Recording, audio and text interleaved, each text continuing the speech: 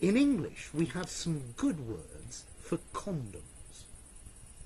They say a French letter. Okay, this is clearly racist against the French. But then they also call it a Dutch cap, so it's racist against the Dutch as well. Um, you could call it a Johnny, yeah, um, a rubber, okay. So, just some nice, interesting words for it, I thought.